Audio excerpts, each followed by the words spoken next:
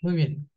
Eh, considerando el valioso tiempo de nuestras autoridades y de los docentes aquí presentes, vamos a dar inicio a este curso con las palabras del doctor Manuel Farfán, presidente de ASPEFAN. Adelante, doctor Farfán. Fernando. Gracias, doctor Jorge Guamán. Buenas noches, colegas. Un saludo al representante, presidente de la red, al doctor Jorge Guamán Saavedra, a todos los docentes, profesores de este curso que se inicia evaluación de conocimiento de ciencias básicas para pruebas objetivas. Un saludo al doctor Manuel Núñez, a todo el personal de ASPEFAN y a todos y cada uno de ustedes por estar presentes esta noche en lo que es el inicio de la evaluación de lo que es el ENSIP. Después de muchos años hemos vuelto a retomar nuevamente este tema que es muy importante entre la formación de los médicos de acuerdo al cumplimiento de lo que es el perfil del egresado y la formación académica que tenemos como responsabilidad en la formación de calidad de nuestros médicos. Por ello, el agradecimiento, doctor Guamán, sabemos que ha sido un esfuerzo verdaderamente eh, a través de su persona y todo su equipo, a través de todos los docentes y qué bueno encontrarnos con algunos después de muchos años, Lucho Tolmos, un saludo a Noemí, un saludo a Chela, un saludo a algunos conocidos que siempre es bueno la virtualidad, a pesar de que estemos cerca, la virtualidad nos permite acercarnos un poco más.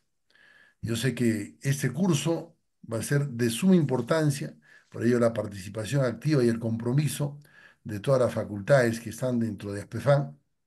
Esta semana se incorporan tres facultades más a lo que es la Asociación Peruana de Facultades de Medicina. Seguimos creciendo y abriendo las puertas con la finalidad de que a través de todos estos cursos que realizamos en la parte de ciencias básicas, en la parte de clínicas, la parte del internado, como ya viene el ENAM para el 17 de noviembre, lo que es el CERUM y el residentado médico, es un esfuerzo verdaderamente que se está realizándose.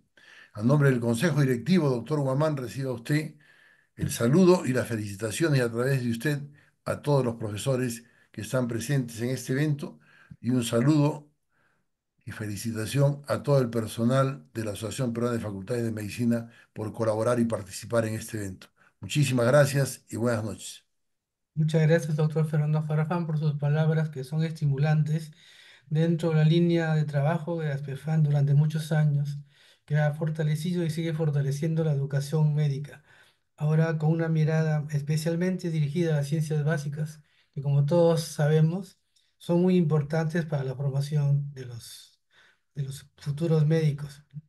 Y este curso está dirigido eh, específicamente a los docentes de anatomía, microbiología, parasitología y embriología, y cuyo producto debe ser la elaboración de 20 preguntas eh, por cada participante.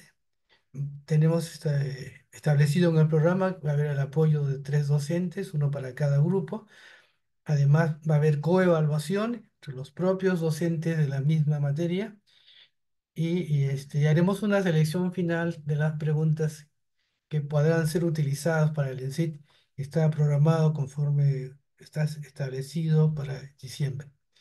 Esta participación es, realmente muy importante y todos agradecemos a todos los colegas que ya antes, eh, muchos de los cuales estuvieron presentes en las reuniones donde establecimos los contenidos mínimos de cada una de las asignaturas. Entonces voy a pasar a presentar eh, la exposición que me corresponde y luego tendremos la participación del doctor César Pastor y de José Carlos para explicar cómo se va a acceder o se accede a la plataforma y eh, el llenado de las preguntas de acuerdo al formato que vamos a utilizar. Bien, entonces voy a pasar a la exposición eh, con el permiso del señor presidente y del doctor Núñez. Voy a pasar a la presentación. Comenzamos entonces con la presentación.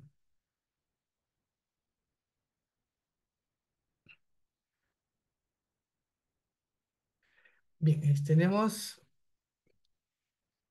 el ENSID, como bien lo señaló nuestro presidente, el Examen Nacional de Ciencias Básicas, que, que es una realidad que existe en otros países y que pretende evaluar en la mitad, en la mitad de la carrera cómo están los conocimientos básicos, ¿no? Es, es eh, organizada, conducida y validada por la Asociación Peruana de Facultades de Medicina. Y es dirigido a los estudiantes de medicina, ah, perdón por la huella, que culminan curso de ciencias básicas en sus respectivas universidades. El, el ENSI piloto, el primer ENSI, se aplicó el domingo 28 de febrero de 2021 con aquellas facultades PFAM que voluntariamente desearon participar. Exactamente participaron 27 facultades, ¿ok? Una gran, una gran mayoría.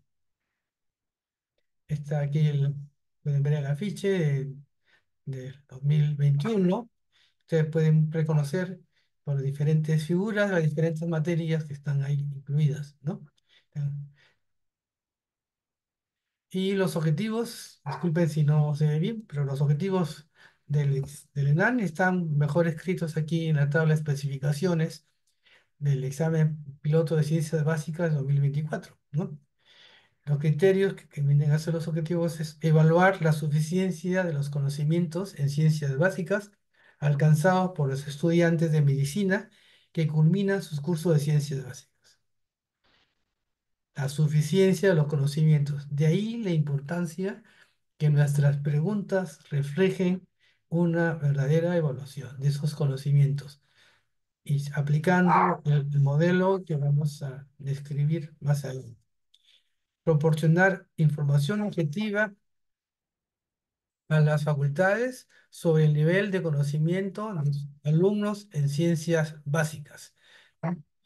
Entonces, en las facultades, después de estos resultados que van a recibir, deberían hacer una evaluación de cómo está el nivel de sus conocimientos de sus alumnos y en qué materias en particular va- deberían reforzar o qué contenidos de esas materias deberían reforzar, ¿no?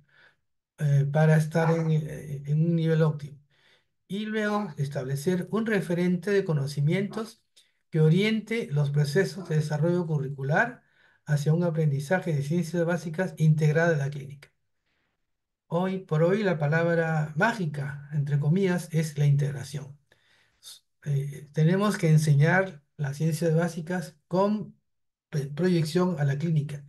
Y también tenemos que enseñar la clínica integrando las ciencias básicas que nuestros estudiantes han, la formación que han, de ciencias básicas que han recibido. E- Esa palabra integración es clave y también debe haber una integración horizontal entre los cursos de ciencias básicas, ¿no?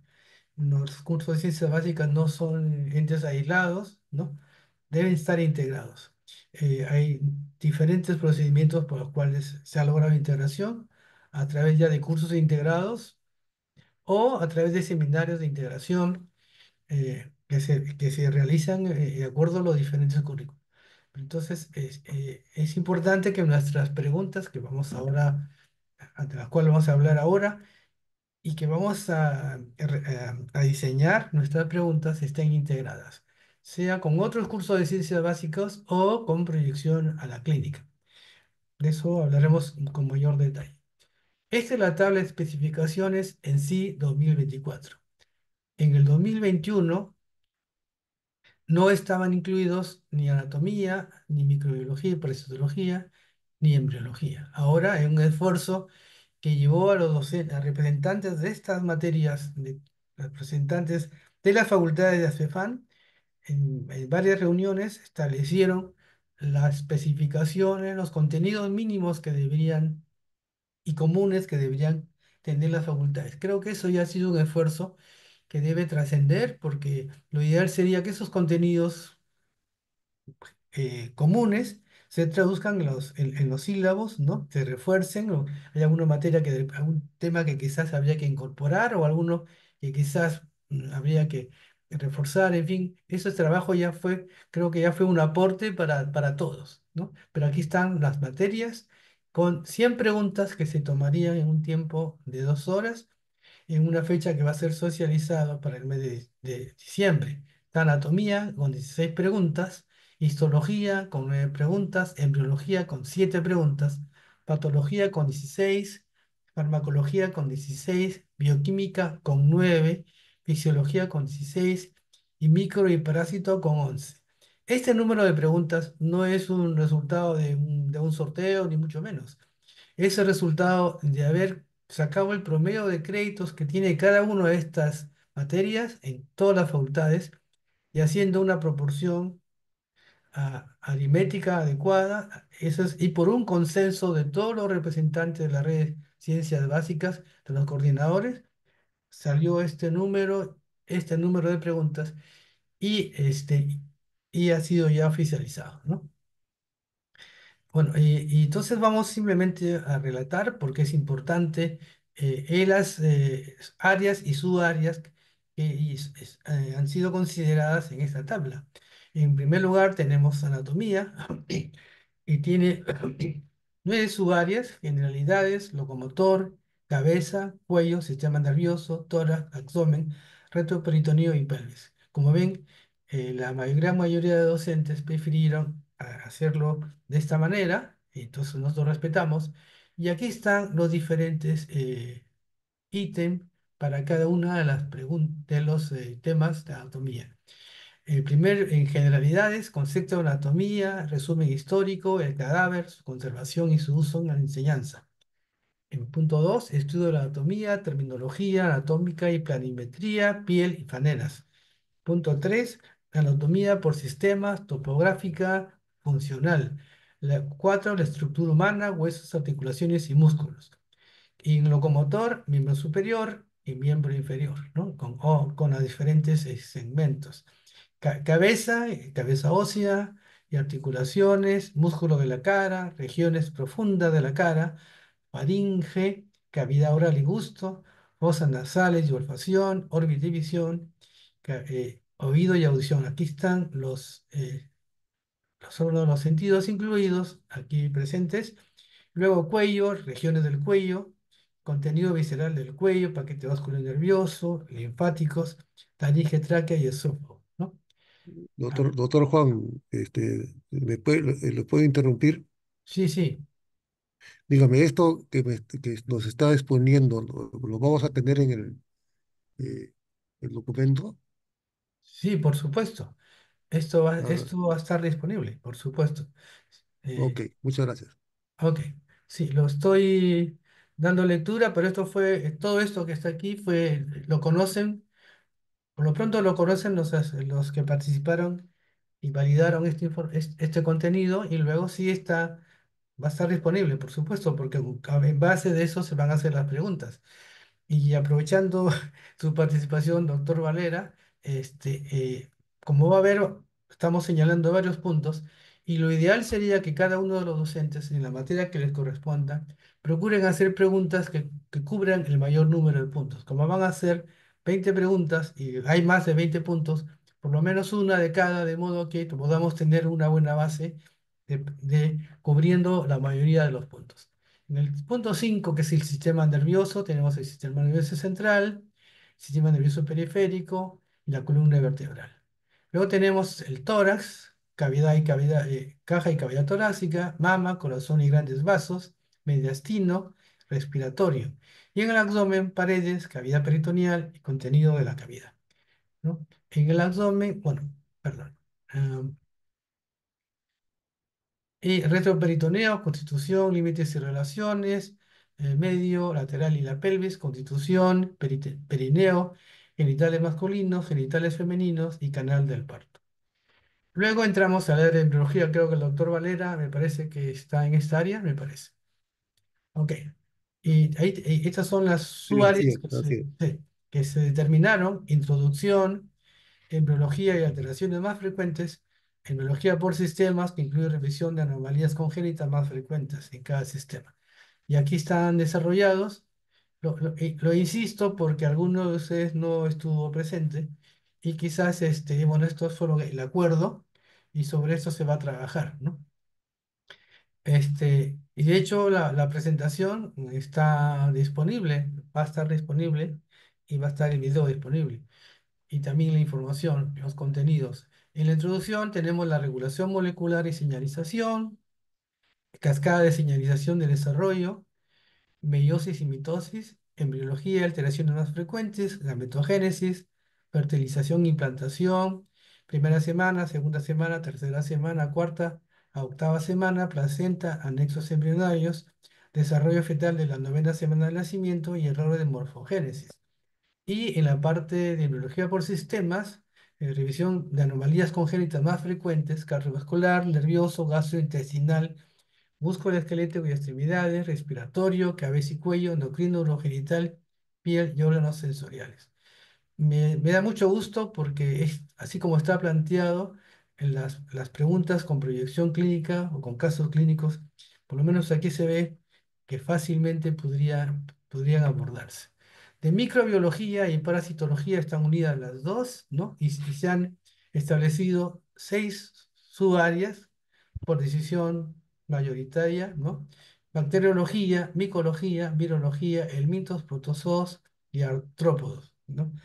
Aparte de un comentario, da mucho gusto cómo los colegas de diferentes lugares se ponen de acuerdo en unos contenidos y creo que ha sido enriquecedor para todos, ¿no?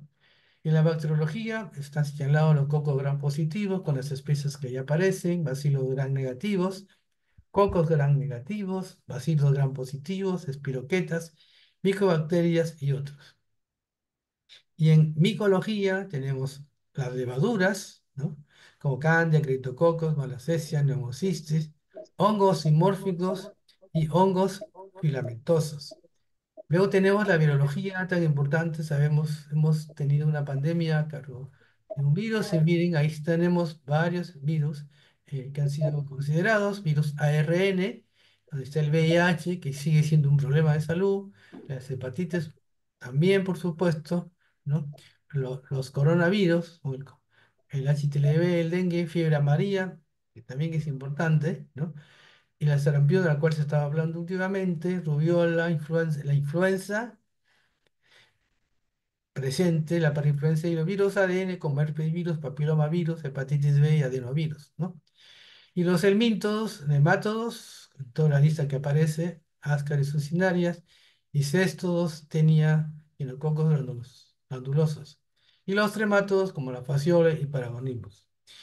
Bien, esa es microbiología y seguimos con los, eh, con los protozoos, los amebas, flagelados, ciliados y coccidios.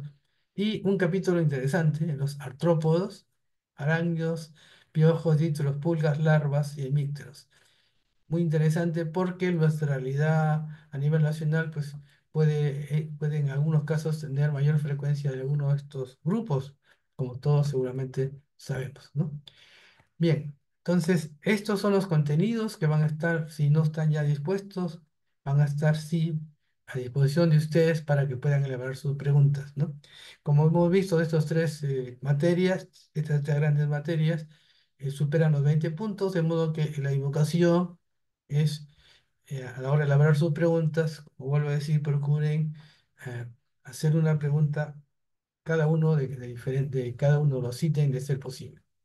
Bien, esa es la primera parte que quería mostrarles, que creo que ha sido el fruto, como digo, el trabajo de, de profesores de las tres materias, ¿no? Y con aportes muy importantes, con un coordinador que estuvo a cargo de cada grupo, con representantes de todas las facultades, de diferentes facultades de Lima y de provincias, ¿no? Muy bien, ahora vamos a hacer un, dejamos esta primera parte, luego volveremos al final cuando se expliquen los, eh, eh, los modelos, el formato de, de preguntas que vamos a utilizar. Y bueno, ahora quería hacer un comentario, creo que estamos en eso, en la evaluación, ¿no? Sobre la evaluación. Todos sabemos que la evaluación es importante en el proceso educativo muy importante, ¿no? Y de hecho el ENAN es una evaluación y el, y el, el examen de ciencias básicas va a ser otra evaluación, ¿no? La evaluación puede ser proformativa, ¿no? O sumativa, ¿no? O también diagnóstica, ¿no? Y puede ser oral o puede ser escrita. Nosotros, en el examen que estamos haciendo referencia, nos referimos a una evaluación escrita. Y entonces, eh, esa evaluación escrita tiene, puede tener diferentes eh, tipos, que lo vamos a señalar más adelante.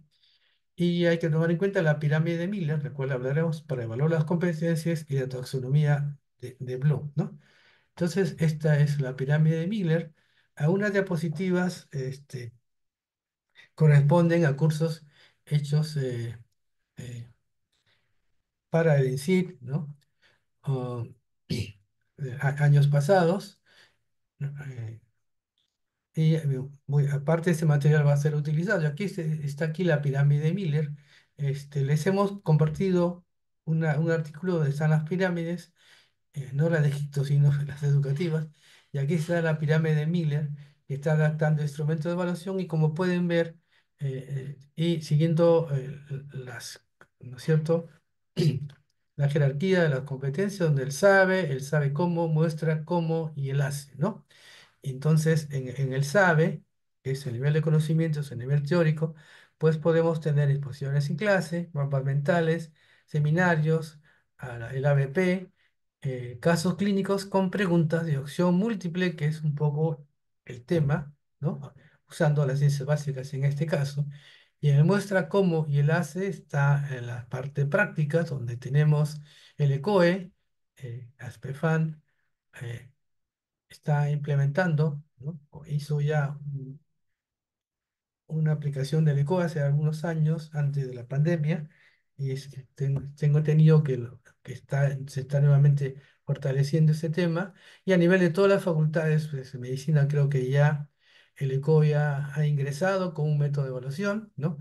Las rúbricas que hacemos eh, en los, los minisex, por, el portafolio, al este cotejo, eh, la evaluación con pacientes reales son con pacientes simulados. La simulación también, como todos sabemos, que es muy importante y no solo se puede hacer simulación en clínicas, también se puede hacer en ciencias básicas, en algunas materias muy en particular, ¿no? Pero se puede hacer y de hecho en otras partes del mundo se hace. Y la simulación es muy importante y creo que todas las facultades de medicinas aquí presentes están desarrollando este tema, ¿no? Tienen sus su centro de simulación y, y, bueno, y es, ahí podemos evaluar el muestra cómo y el hace y ahí está en los niveles de las competencias. Y esta es la taxonomía de Bloom. Esta es la clásica, la que está a la izquierda, donde es- está el, el nivel más bajo del conocimiento, ¿no? El saber, la comprensión, la aplicación de los conocimientos, el análisis, la síntesis y la evaluación. Y esta es una versión un poco moderna, donde e- el equivalente sería recordar, entender, aplicar, analizar, y la síntesis y la evaluación con verbos en orden invertido, evaluar y crear, ¿no? El crear ya es lo máximo, digamos, ¿no? Y nuestras preguntas, pues, eh, que vamos a hacer, van a tener esta pueden seguir esta taxonomía. De hecho, en el formato que, está, que aparece en el curso, está esta taxonomía de Bloom, pero el formato que vamos a aplicar eh, para las preguntas, que le va a servir que esto como referencia, este formato, y el formato que vamos a aplicar, lo va a explicar eh, José Carlos, que es un formato más simplificado para el ingreso de las preguntas al sistema. Entonces, atentos, en su momento lo, lo explicaremos y será importante que lo puedan aplicar, ¿no? Entonces, este case, ¿no? En el año 2006 hay una versión más reciente, no, no he podido acceder a ella, disculpe, pero este case, este libro de case está disponible y sé que em, eh, tengo algunos años participando en, la, en el ENAN, ¿no? En la elaboración del ENAN, este, incluso he tenido oportunidad de estar en varios encierros con varios colegas, ¿no? Y, y, bueno, y este es un libro que se usó mucho en los primeros años para establecer los criterios de las preguntas, ¿no? Y por eso se los he hecho llegar y de hecho vamos a usar parte de alguna información que, este- que vamos a presentar, está sacada de ahí.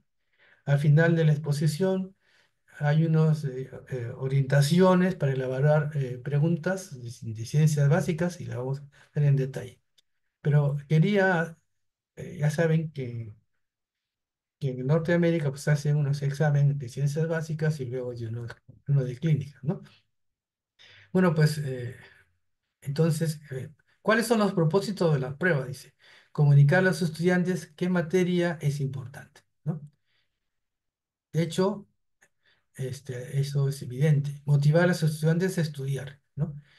No hay más que motivar a un estudiante, que es el saber que va a ser evaluado, ¿no? Y que su nota puede significar su promoción o no, ¿no? Es una motivación. No digo que sea la mejor, pero sí funciona, ¿no? Cuando uno se dirige a los estudiantes y insiste en que eso es una materia de ser evaluada. Identificar las áreas de eficiencia del estudiante que requiere de más, de más estudio el, el estudiante eh, al recibir la, la- la evaluación, la retroalimentación de su resultado, de su prueba, y, el, y acceder a su, a su prueba, que creo que es importante que las evaluaciones, los alumnos reciban su evaluación la revisen con el patrón de respuestas y busquen cuáles son sus puntos débiles y que la refuercen, es importante ese hecho, ¿no? Para que estudien esa, esa parte donde ah, hay mayor debilidad. Y uno sueña con la tutoría personal, donde el profesor no solamente dicta las clases y evalúa, sino que también hace la consejería, sobre todo con aquellos alumnos que tienen un rendimiento más bajo. El estar atentos a eso es muy importante y es parte de, nuestro, de nuestra ah, labor de docentes de acompañar a nuestros alumnos en su desarrollo, en el desarrollo de sus competencias. Y bueno, determinar la nota final de un curso o tomar decisiones de promoción, esto es evidente. Identificar aquellas áreas con deficiencias en el curso o currículo. Sí, y al hacer unas, unas evaluaciones vemos que siempre hay unos temas donde los alumnos no responden correctamente. Eh, puede, pudiéramos replantearnos como docentes el ver qué estrategias empleamos para mejorar, ¿no? el, el conocimiento, el aprendizaje de los alumnos en esos puntos, ¿no?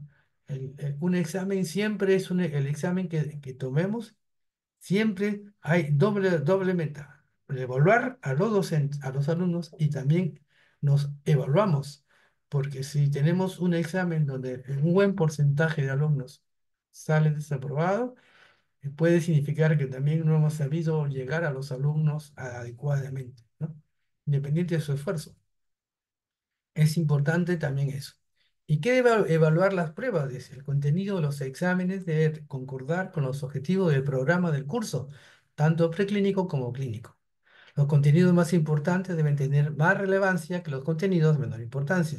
El tiempo dedicado a cada contenido en la prueba debe reflejar la relativa importancia del tópico. La muestra de preguntas debe ser representativa de las metas de enseñanza. Particularmente, este, cuando hago un- una, una prueba, cojo todos los contenidos, de- del curso que voy a evaluar y procuro, en primer lugar, que sea representativo del contenido. Por supuesto, las preguntas deben ser eh, mayoritariamente de los, puntos de esos, de temas los que sean más importantes.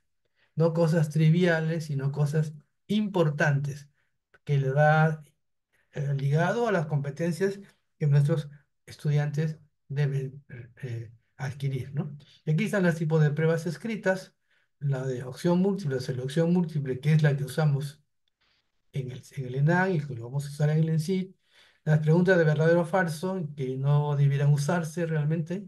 Yo creo que eh, una de las cosas que deberíamos procurar, respetando la libertad de cátedra, pero por lo menos en la Facultad de Medicina, donde estoy a cargo de la Oficina de Educación Médica durante varios años, con los criterios PEFAN, que los conocemos, la gran mayoría los hemos aplicado, nosotros en- evaluábamos las pruebas escritas de todos los departamentos y hacíamos llegar recomendaciones a los departamentos con los exámenes que recibíamos sobre el tipo de preguntas, sobre los criterios que cumplían o no cumplían. Bueno, de vez en cuando encontramos preguntas de verdadero o falso, ¿no? Que no son lo ideal, a veces se aplican, pueden ustedes revisar en la literatura que hemos mencionado, o completar una frase o un gráfico y completar información o correlación entre dos columnas, ¿no? Realmente nosotros lo que usamos es la selección múltiple y algunas de estas preguntas pueden tener un- una figura, ¿no? Una imagen, ¿no? Entonces, los, vamos a hablar entonces de las preguntas de elección múltiple. Son uno de los instrumentos de tipo escrito. eh, Aquí está la referencia de Palés, español del año 2010, pero eh, también les ha juntado una referencia de 2023, ¿no? De otra, de una doctora Miranda, si mal no recuerdo. Los exámenes preguntas son uno de los instrumentos más utilizados en, en la evaluación en educación médica. De hecho, es el instrumento que usa ASPEFAN en Palenán y que ahora vamos a usar para CIT. ¿Y qué ideal sería, estimados colegas, que eso fuese el común de todas las evaluaciones a nivel de todas nuestras facultades y les haríamos un gran favor a nuestros estudiantes porque ya conocerían la metodología, no solo para el sí, que ahora vamos a comenzar a hacerlo, eh, esperamos hacerlo anualmente, sino también para el ENAC propiamente dicho, ¿no? Porque es una preparación, el que se habitúen a, a este tipo de preguntas con ese formato, con cuatro alternativas, ¿no? De acuerdo a los criterios que vamos a revisar porque muchos de ustedes estoy seguro que ya los aplican o no saben. ¿no? Entonces va a ser una revisión para todos, creo, ¿no? Muy bien, son unas preguntas, tanto es así que en muchos casos dice viene a ser el único instrumento utilizado en numerosos procesos de evaluación. De hecho, en los cursos en los cuales eh, soy docente de bioquímica, este, usamos este sistema de preguntas, ¿no? Para la evaluación escrita, ¿no? También se denominan pruebas objetivas por su demostrada alta fiabilidad contra las pruebas en los ensayos, que vendrían a ser las pruebas supuestamente subjetivas, ¿no? Y por eso tiene que estar bien diseñado, ¿no? Este es importante que le dediquemos tiempo a, elaborarnos a pruebas, como le vamos a dedicar tiempo ahora. Mira, ustedes van a hacer 20 preguntas y visualmente sus evaluaciones, supongo, que deben ser más o menos en ese número de preguntas, quizás más, quizás menos. Pero mire, mire el número de horas que le van a dedicar, ¿no? Ah, y van a ver que siguiendo el formato, cada pregunta les va a demorar un buen tiempo, 15 minutos, 20 minutos o media hora quizás, ¿no? O quizás más, si queremos hacerlo bien. Entonces tendríamos que autoexaminarnos si nosotros, cuando preparamos nuestras preguntas, le dedicamos el tiempo suficiente para que estén bien hechas. Puede ser que tengamos un banco de preguntas que los alumnos fácilmente acceden. Es importante renovar, buscar alternativas, buscar enfoques. Y miren, qué importante es que sigamos un estilo muy pegado al que vamos ahora a revisar. Por eso se requiere un cierto nivel de experiencia. En algunos, algunas facultades, en, cada, en algunos cursos hay una especie de comité que evalúa las preguntas. Dos o tres docentes, todos los varios docentes que han dado las clases, es que son varios docentes, envían sus preguntas y el coordinador las junta y con un comité evalúa y elige, la, elige las mejores preguntas porque siempre hay algunos, eh, algunos pues tendemos a ser eh, más, más extensos en, los, en las preguntas, los contenidos, y creo que es importante pues eh, facilitar un buen examen para los alumnos, ¿no? son preguntas con varias posibles respuestas, en las cuales solo una es la correcta, ¿no? La norma es de las cuatro alternativas, solo una es la correcta, y nosotros solemos colocarla para el efecto del, del sistema en la primera de todas. Pero las restantes son verosímiles, ¿no? Pero son parcialmente correctas. Solo una de ellas es la más apropiada, ¿no? Entonces, este, como Abraham hizo un trabajo que, que hicimos con el doctor Camacho y el doctor Plasencia eh, sobre la evaluación de, en bioquímica, hicimos un trabajo evaluando las eh, preguntas con cinco alternativas y con tres alternativas lo presentamos en un congreso de Escoción Médica de Espefan hace algunos años. Ocupamos modestamente el tercer puesto, no llegamos a más. Y lo, lo comentamos con unos eh, educadores mexicanos que estuvieron en el congreso. Y ellos hace años dicen que aplican eh, cuatro eh, pruebas con cuatro alternativas. Incluso uno de los que estuvieron ahí hablando de los trabajos era uno de los que habían innovado los exámenes con cuatro alternativas, ¿no? Al poco tiempo, Aspefan acogió esta idea y se redujo a cuatro alternativas. En los primeros tiempos, el eran con cinco alternativas. Ahora son con cuatro alternativas. Muy bien, este tipo de preguntas, entonces se evalúa eh, el, tanto eh, conocimiento como comprensión, aplicación, interpretación, de acuerdo a los niveles que hemos hablado. ¿no? ¿Qué ventajas tiene? Igual o mayor efectividad que otros tipos de pruebas, son confiables, con poca ambigüedad y menos adivinación. El de la poca ambigüedad depende de nosotros, que nuestras preguntas sean claras. no es muy frecuente, pero a veces se ve que hay alumnos que reclaman porque las preguntas que hemos hecho pudieran haber sido lo suficientemente claras y se nos pasó un detalle que se prestó a, la ambigüedad. Y les cuento que el curso del año pasado que hicimos con, eh, con otros docentes. eh, en- se aplicó la inteligencia artificial, aquí César, tuvo el doctor Salcedo, explicaron, y a los docentes que habíamos elaborado las preguntas. Y salieron algunas preguntas que el, que el chat, eh, que por inteligencia artificial decían que no estaban bien hechas, ¿no?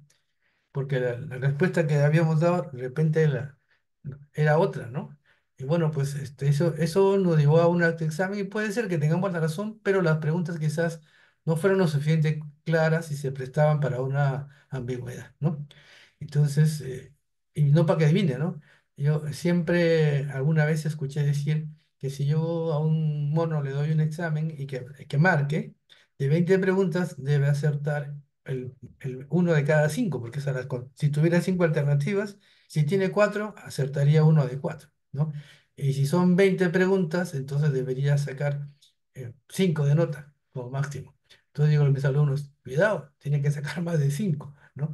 Porque cinco es adivinar, ¿no? Más de cinco, ya saber. Entonces discrimina entre el aprovechamiento alto y bajo, ¿no? Con puntaje objetivo flexibles porque permite evaluar aprendizajes sencillos y complejos. Depende de la calidad de la pregunta. Se pueden usar prácticamente para todo tipo de contenido y disciplinas y son fáciles de calificar. Bueno, claro, si tienes una computadora y vas pasando ahí los resultados más rápido que no leer los ensayos. Pero lógicamente, pues también tiene su, su tiempo. Y como desventajas, no miden creatividad y la habilidad para resolver problemas.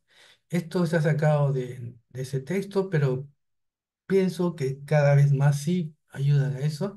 Dificultad en la construcción y la Para redacción. cortar ahorita en... Sí, alguna interrupción parece. Dificultad en la construcción y la redacción. Cuesta hacer las preguntas. Y las llenas Es más, es- por favor, si pueden apagar ese micro, por favor, 123, ¿no? por favor. Este, dificultad en la construcción y redacción, nos cuesta construir buenas preguntas, su redacción, mucho más. Van a ver cuántos criterios tenemos que aplicar, ¿no? Evalúa resultados de aprendizaje a nivel verbal, ¿no? Y eh, demandan mucho tiempo en su elaboración, bueno, es lo mismo, ¿no? Eh, eh, Escaleza orgullosa habla de la validez, dice. Validez. Respecto a su validez, son adecuados para medir un espectro amplio del conocimiento y se puede usar con seguridad para medir los componentes relacionados con los conocimientos y hasta cierto punto la capacidad de aplicarlos, siempre y cuando se formulen adecuadamente. Nosotros queremos que las preguntas que ustedes elaboren sean de la mayor calidad posible, porque miren, vamos a evaluar a los estudiantes de todas las facultades de medicina y no debemos tener ninguna queja de que una pregunta no estuvo bien hecha. Es verdad que ahora las preguntas que, que vamos a hacer van a ser filtradas, etcétera, etcétera, pero si de entrada lo hacemos bien, ¿no? Le vamos a ahorrar esfuerzo a los que van a hacer la, evaluación final y, siempre se pueden pasar algunos detalles, ¿no? Es importante, les agradeceremos a todos que hagamos el esfuerzo de hacer preguntas bien hechas. Otras capacidades que pueden evaluarse son el razonamiento clínico y la toma de decisiones. De hecho, en los, en las preguntas vamos a procurar tener preguntas con casos clínicos, un porcentaje que, que ya se va establecer, ¿no? Y también las decisiones que se pueden tomar. Y las ciencias básicas, como ustedes saben, apoyan pues, en, en, en, eh, en el razonamiento clínico, nos dan las bases. Se nos habla, en los clínicos hablan de la medicina basada en las evidencias, en evidencias. Y yo les pregunto, colegas, ¿quién da las evidencias? ¿De dónde salen las evidencias? Las evidencias salen de las ciencias básicas, de nuestros cursos, de la microbiología, de la bioquímica, ¿no?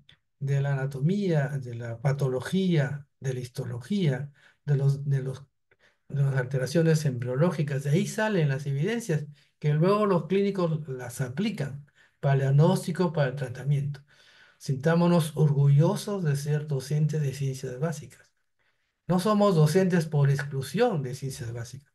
Somos docentes porque nos apasiona el, el enseñar las ciencias básicas, porque consideramos que es muy importante. Y por eso mm, me siento muy satisfecho que todos nos, apo- a- nos hemos puesto la camiseta para sacar adelante este segundo en sí, que creo que va a ser eh, más, va a contener más materias y que debe ser un éxito, dependiendo de, de lo, de lo bien que hagamos ahora las preguntas y que luego participemos en la difusión para que el examen tenga el mayor nivel de, de participación. Son fáciles de administrar y corregir, especialmente con números altos de alumnos. Eh, algunos de ustedes tienen aulas con, o, o promociones con alumnos que pueden ser 60, de ser 100 o más alumnos, ¿no? Bueno, no sé qué pasó. No sé si alguien está cediendo la, aceptando o tengo que hacerlo yo. Eh, César, no sé si alguien me está ayudando con admitir. Sí, prosiga nomás, siga, prosiga.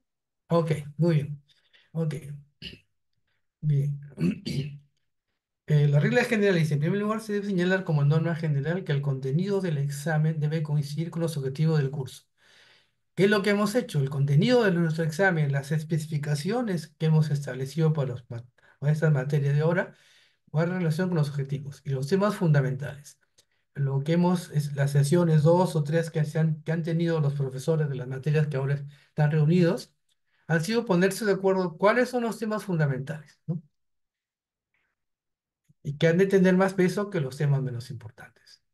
Entonces, por eso es, es, dice, es importante establecer notables especificaciones, que es lo que hemos hecho, ¿no? Y terminar con determinar cuántas preguntas, que es lo que hemos hecho en cada asignatura, también debemos saber cuántas preguntas son, ¿no? En las evaluaciones parciales, en el final. Y que, y que refleje toda la extensión del curso y lo más importante.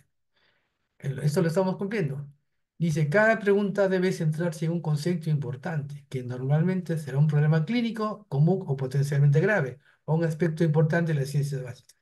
Por eso tenemos los, los eh, casos clínicos y tenemos también las situaciones problemáticas, y si llegara a ser un problema clínico, tal cual, eso es un problema desde el punto de vista anatómico, fisiológico, lo que fuere, en- que es también un motivo para hacer una pregunta. Dice, se debe evitar preguntas que evalúen el conocimiento de datos triviales, ¿no? Eh, Es muy importante que nuestras preguntas no sean exclusivamente, fundamentalmente de memoria, ¿no? Y de cosas que realmente no, no, no son importantes, ¿no? Tenemos que aprender, eh, hagamos que nuestros cursos sean este, queridos y recordados por nuestros alumnos porque aprendieron cosas que después ellos, cuando ya están eh, haciendo las clínicas o el internado o la práctica profesional, recuerden con mucho afecto, con mucho agradecimiento que nosotros les, su- les les supimos dar los conceptos más importantes para su vida profesional, ¿no? Y ahora vamos a la tercera parte, que es explicar cómo son las preguntas que vamos a desarrollar en, eh, en este, este curso y las que vamos a elaborar, ¿no? Las partes de una, de una pregunta es el tallo o enunciado, todos lo reconocemos, las opciones o alternativas, que son cuatro alternativas, el contenido mismo, o sea, la materia mismo, el formato y el estilo. De eso vamos a hablar a continuación, con unas recomendaciones que han sido sacadas de los textos que les he hecho, que les hemos proporcionado, quizás alguno de los conoce, y de lo que ha sido una costumbre durante muchos años. Hemos tenido diferentes asesores pedagógicos, ahora tenemos al doctor César, ¿no? Este, y hemos tenido varios, y eh, esto se ha ido perfeccionando con el tiempo. Entonces, por ejemplo, el tallo el enunciado, si el enunciado, lo que va arriba de la pregunta, tiene que ser claro, concreto y completo. Si no queremos que nuestros alumnos se adivinen, tiene que ser claro. No, no queremos que los alumnos digan, ¿será esto o será lo otro? No le queremos complicar la vida eh, intentan- intentando que ellos interpreten lo que le estamos preguntando, ¿no? Tiene que ser claro, concreto y completo. Tenemos que darle toda la información, no tenemos que dejar a su imaginación las cosas, sino que tenemos que darle la información tal cual. Y debe, el, enunciado debe incluir la idea central. Ahí tiene que estar en el enunciado y que la información del enunciado no tiene que repetirse en las alternativas. hay preguntas que hemos visto, donde el contenido más importante está en las alternativas. Así no es el modelo. El modelo es que el enunciado es el que tiene la idea central. Tanto es así que yo con, leyendo el enunciado, solo con leer el enunciado yo sería capaz de saber cuál es la respuesta a la pregunta que estoy haciendo al final, ¿no? Dice, un buen enunciado, dice, permite responder sin necesidad de mirar las opciones. Y ojo, es un buen ejercicio antes de, de cuando revisamos nuestro examen que hemos preparado, que revisemos los enunciados y repasemos y que me- mentalmente saquemos la respuesta y verifiquemos que la respuesta está ahí, porque puede ser que se nos haya pasado y no esté la respuesta. Parece una perogrullada lo que estoy diciendo, pero eso ocurre y ya debe haber ocurrido a más de uno o que puso dos respuestas. Dice, no es necesario poner, marque la respuesta correcta, porque eso está además, no estamos pidiendo la respuesta incorrecta, es, una, es otra cosa que está de más. No preguntar por eso lo incorrecto, en todo caso preguntar sobre lo que no se debe hacer, que será la excepción, no será la regla. En las evaluaciones que hemos hecho en, en algunos- en alguna oportunidad, encontrábamos que más del 10% de las evaluaciones tenían preguntas de el, el incorrecto. Te lo señale lo incorrecto. Incluso habían, ya, ya vamos a poner algunos ejemplos, ¿no? Bueno, ahí, se incluye la idea central en el tallo en lugar de ponerlas en las opciones. Evitar adornos, verbosidad innecesaria. Recuerdo mucho en, la UNT, cuando evaluábamos las preguntas en los talleres que hacíamos, venía el estudiante, el docente, proyectaba su pregunta digamos, 50 palabras por decir algo en el, enu- en el en- enunciado. Terminaba con 20, ¿no? Porque a, a- es- a veces algunos más que otros, a pesar de, de ser de medicina, quizás algunos más que otros, tendemos a una velocidad innecesaria. Y entonces le hacemos al, al- al alumno que se lea 50 palabras cuando podría leer solo en 20 lo que queremos que, que se entere, ¿no? Le hacemos perder su tiempo y además a veces lo confundimos con tanta verbosidad, ¿no? Y ahí ahora van a salir algunos ejemplos. El enunciado debe ser, pues, entonces, breve, no incluir elementos superfluos y exceso de información, volvemos a lo mismo, y debe contener todos los elementos necesarios para contestar la pregunta. O sea, debe ser completo. O sea, completo, claro, concreto, breve, sin verbosidad innecesaria. Eh, hay que tener cuidado de no ir al otro extremo, o sea, de no hacerlo tan, tan sencillo, tan sencillo que sacrifiquemos la claridad. O sea, tiene que estar los elementos necesarios para contestar, ¿no? Y aquí van a venir eh, muy bien, eh, dice, en cualquier, en cualquier caso, el enunciado de, la pregunta debe generar una pregunta clara y debe ser posible llegar a la respuesta con las opciones ocultas que le hemos visto. Para determinar si la pregunta está centrada en un tema particular, se deben ocultar las opciones y observar si la pregunta es clara, si los alumnos pueden intentar responderla solamente a partir de la información en el enunciado. Si no es posible, vuelve a elaborar el contenido del enunciado o de las opciones. Eso es fácil entre los docentes, pueden uno hacer la pregunta y, hacer el ejercicio y ver que el otro, mm, si es capaz de, de contestar, encontrar la respuesta. Si no es capaz, si imagínense que otro colega no es capaz de encontrar la respuesta, mucho menos serán nuestros alumnos. Querrá decir que la pregunta quizás tiene algún defecto en su, elabo- en su elaboración. Muy importante, y esto que estamos diciendo para nuestros alumnos, por favor, eh, con este mismo espíritu, hagamos nuestras preguntas. Dice, no preguntar eh, lo que no se debe hacer. Afirmar en lugar de negar y evitar el excepto. Si se usan palabras negativas, usar la palabra con cuidado y siempre asegurar que parezca en mayúsculas y en negrita. Sea como excepción, podemos usar el no o el excepto. ¿Cuál de las siguientes patologías no está asociada, no debería ir con mayúscula, en con bradicardia, ¿no? Y ahí aparecen cuatro, ¿no? Que no deberían tener bradicardia, pero en la medida de lo posible evitemos el excepto, evitemos el no, ¿no? En la medida de lo posible. Eh, De hecho, cuando hemos estado en los encierros, esas preguntas generalmente volaban, ¿no?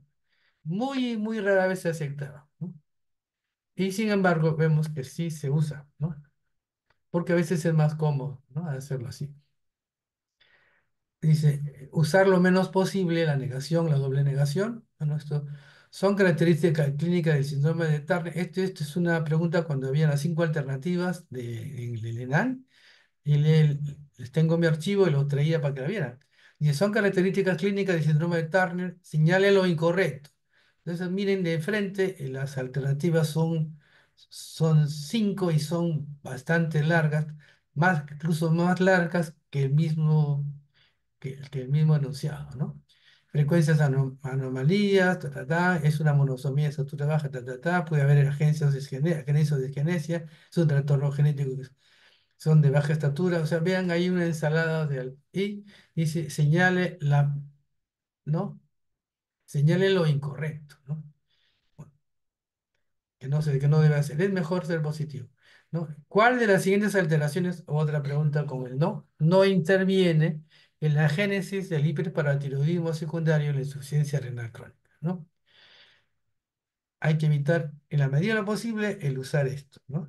Hacer preguntas positivas como debe ser lo que nos oriente siempre en la vida, ¿no? La nefritis tubulointersticial no, va- no parece muy frecuente, pero la mayoría de sus causas son medicamentos de uso frecuente. Debe sospecharse si se presenta una insuficiencia renal cuya causa no se identifica con alta probabilidad en enfermos que toman medicación. Todos los siguientes medicamentos son causa potencial de nefritis tubulointersticial, excepto, y ahí está. O sea, hay que evitar en la posible usar esto. Dice, dice, incluir la idea central en el enunciado y no en las opciones. Miren, la, miren la- el enunciado.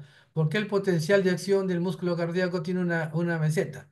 Porque la fibra muscular, porque la fibra muscular, porque la fibra muscular, porque la fibra muscular, porque la fibra muscular, y ahí se agrega. Entonces, ¿qué habría que decir?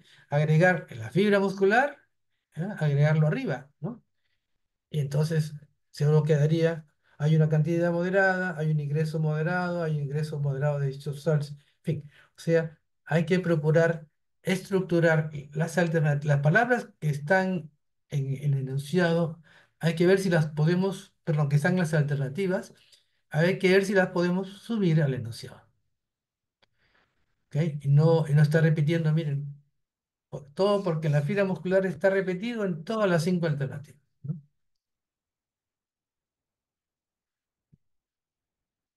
Dice, el número de opciones usadas por FFAN es de 4, antes será 5, se basa en publicaciones. Bueno, asegurar que solo una de las opciones sea correcta, entonces ya vamos a en- entrar a las opciones. La extensión de las alternativas debe ser similar. Ya vamos a hablar de eso, es muy importante. Si tengo una alternativa que es más larga, eso orienta al estudiante para que esa sea la respuesta correcta habitualmente, ¿no?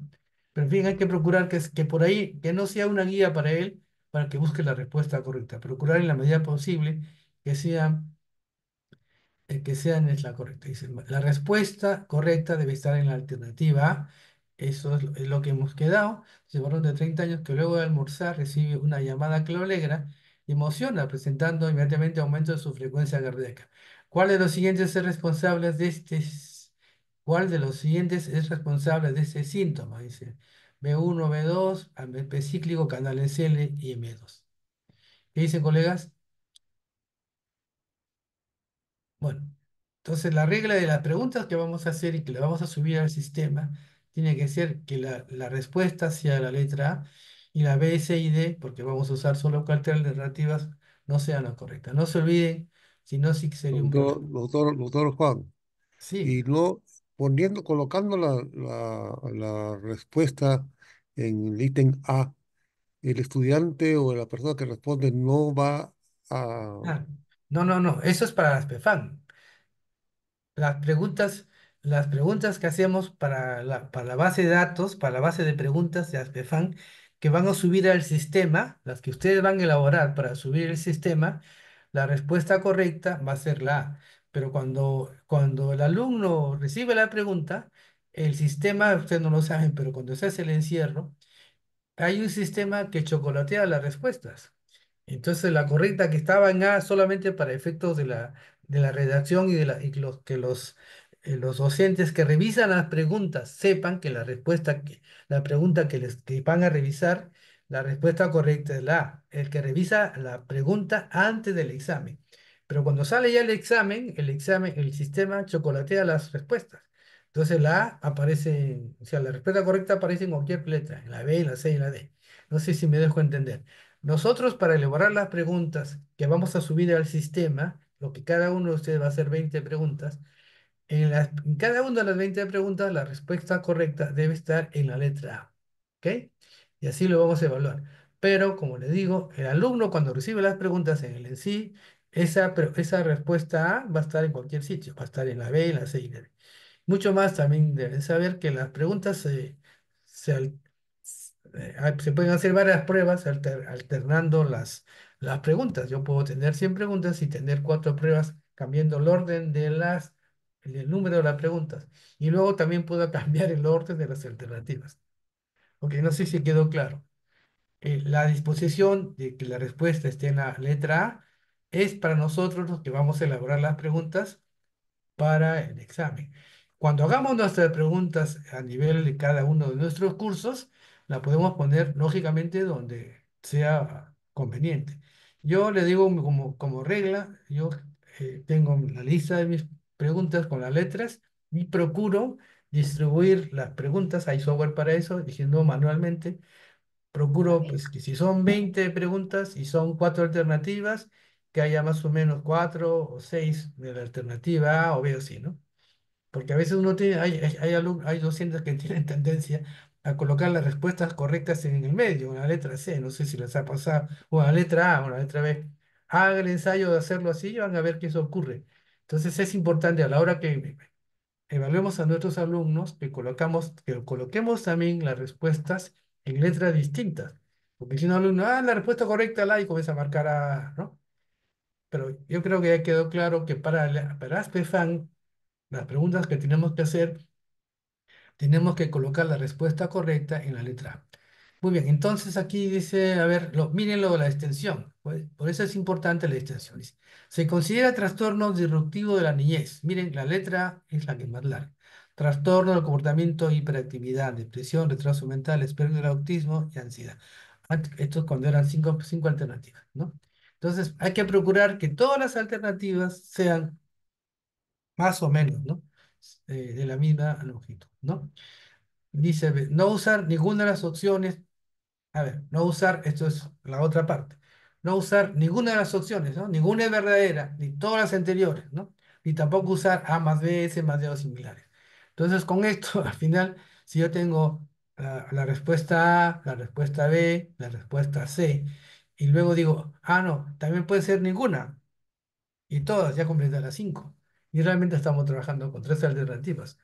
Y si ya mucho más, si yo pongo A más B, S más D, en fin, reduzco las alternativas, ¿no? No se acostumbra a hacer eso, ni todas ni ninguna, porque los conceptos tienen que ser bien concretos y no tienen por qué mezclarse. Sin embargo, este, yo he visto encuestas de, de instituciones muy respetables donde siguen eh, haciendo preguntas como ningunas, como todas. Entonces yo les animo a que revisen sus preguntas. Yo les sugeriría que terminado este curso sin ser muy críticos, cojan sus exámenes y los revisen y vean si estas reglas las están cumpliendo. Y me alegraría mucho que las cumplan y que ya sea una costumbre de ustedes. Pero estoy seguro que hay un 10% por lo menos de, de preguntas en algún, en algún, en algún lugar que no cumple todas estas normas. Luego dice evitar pistas a que vamos a hablar después que indiquen la opción correcta. Entonces, estos son criterios que aparecen en algunos artículos que también les he enseñado, les he dejado, que hay, que, hay alumnos eh, que son muy hábiles para contestar, excluyendo las respuestas, las, las, las, excluyendo las respuestas y se quedan con la verdadera.